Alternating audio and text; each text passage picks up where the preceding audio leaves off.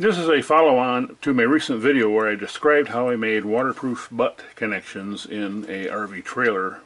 However, sometimes you need to tie to an existing circuit. For example, if you wanted to add a trailer connector to an existing trailer wiring harness to tow a vehicle behind a motorhome or for double towing with a fifth wheel, you're going to want to make a three-way splice.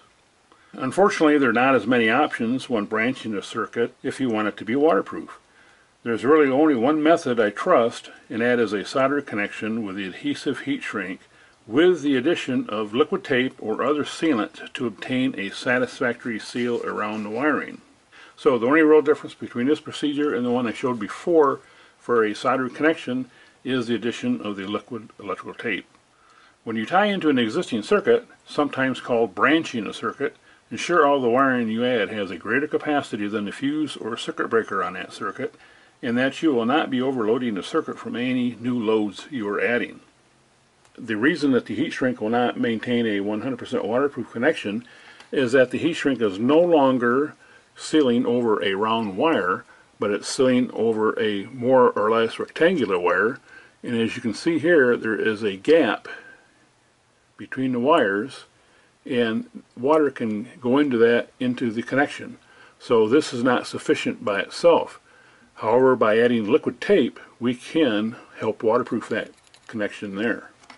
The procedure is pretty much the same as before as far as a butt connection, where I grab the three wires and then make a good mechanical connection.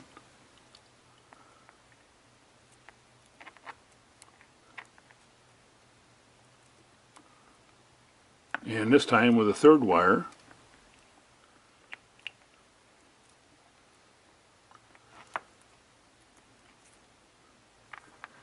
And then we solder the connection.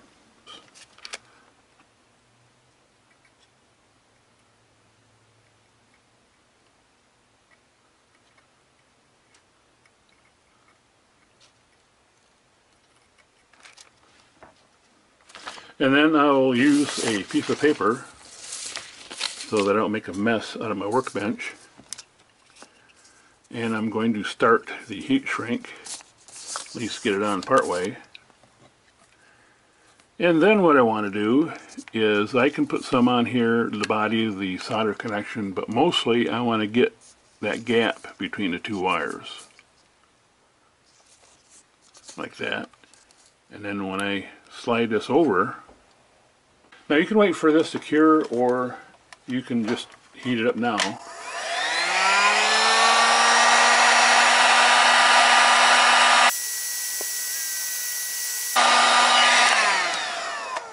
And notice that I started from this end and worked my way to the other end because this heat gun will kind of bubble this liquid tape a little bit.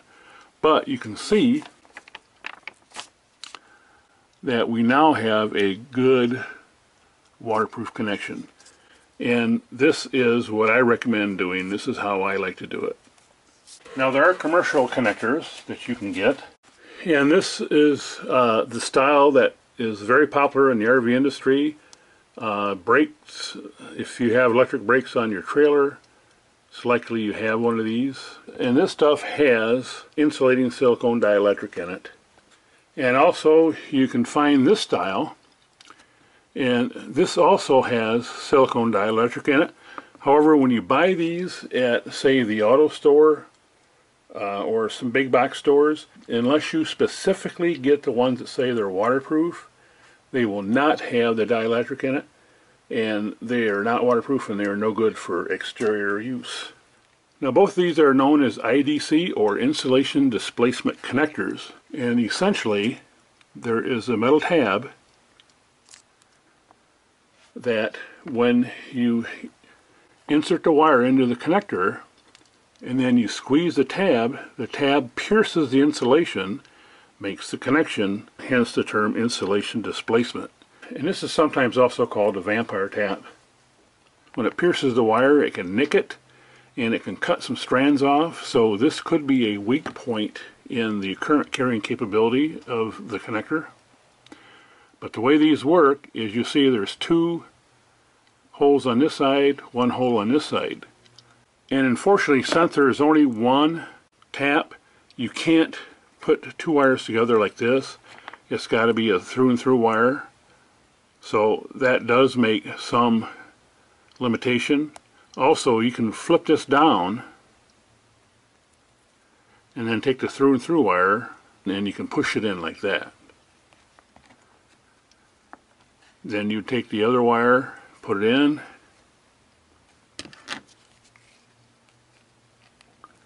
take your pliers, squeeze it, and then you have to try to close the end again. So we'll squeeze it here while we close it cover. And there we go. That is how these work. And with this style, uh, this again is used quite a bit in the RV industry. And we're going to cut these off so they're the same length. And these insert until you hear a clip.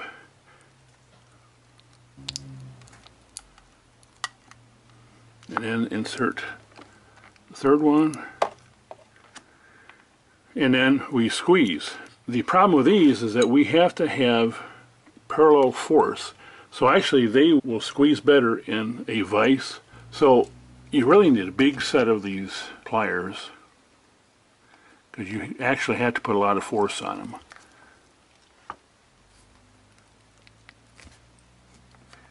And there is a lot of resistance. Now see how this is? That's not going to make a good connection because see it didn't only did one end so I have to do both sides.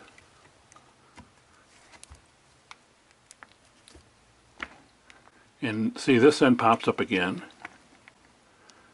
And that's what I mean by needing parallel force.